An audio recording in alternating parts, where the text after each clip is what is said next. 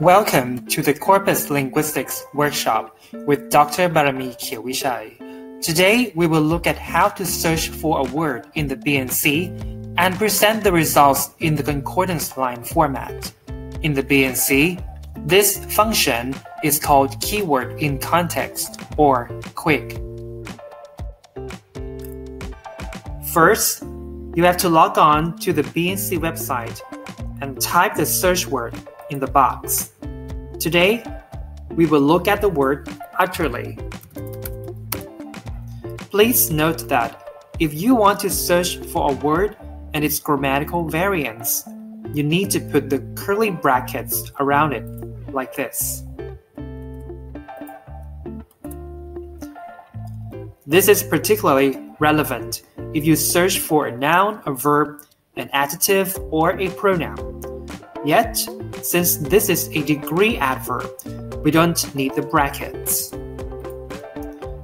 Now let's click Start Query. On the next page, the website retrieves instances of the search word from the BNC. But to make the linguistic context of the word clearer, we've got to see it in the concordance line format. So next, we will check out the tabs at the top of the screen and click on Show KWIC View. And here we have the concordance lines. So the search term is at the center of the screen, making it easier to see which word tends to follow it and which tend to come before it. At a glance, it seems evident that utterly is often followed by adjectives with negative meaning. You can refine your search further because the results are arranged according to file names. Therefore, the concordance lines might cluster around a group of files instead of from every part of the BNC. Let's rearrange the concordance lines by clicking on the Show in Random Order tab. Now the lines are from all over the corpus. Another thing to note is that there are quite a lot of concordance lines to analyze.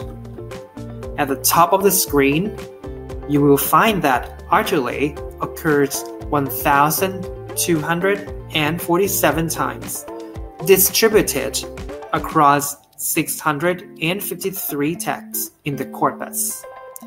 The frequency per million words is 12.68. To make the data more manageable, go to the drop down menu and select Thin. Here, the software will randomly select concordance lines for you, but we need to type the number of lines that we want to work on. Let's type 30 and click Submit. Now there are 30 randomly selected lines for us, so it is more manageable. And to make it easier to process, we can also sort the word on the left or the right of the search term too. To do this, go to the drop down menu and select Sort. Here, the words on the right of the search term are sorted in alphabetical order. If you go to the position menu, you can adjust the setting to one word on the left, two words to the left of the search terms, and so on. You can also limit the part of speech of the co-occurring words by changing the setting in the tag restriction menu. Let's select any adjective and click Submit. Now the results seem to confirm our initial observation that utterly tends to co-occur with adjectives with a negative meaning. Indeed, concordance lines can show us how the word is used in context, its meaning, phraseology, and semantic prosody of the word. That's it for this video.